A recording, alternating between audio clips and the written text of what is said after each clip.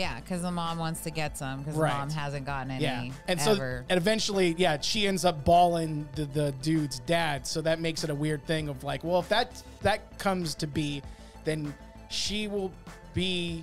Uh, how let's work, let's work the mathematics of this family situation. Step brother, step sister. Thank you. Yes. yeah, gross. Yeah. I don't know. I've been porn lately. That's pretty, you It's know. pretty Oh, yeah, exactly. pretty on the nose. poppin'. Help me, bro. My notebook is under the couch. I got stuck I- behind the washer, I feel like this movie was originally supposed to be a Mexican mom and a Mexican family. and they were like, "No, me voy a matar."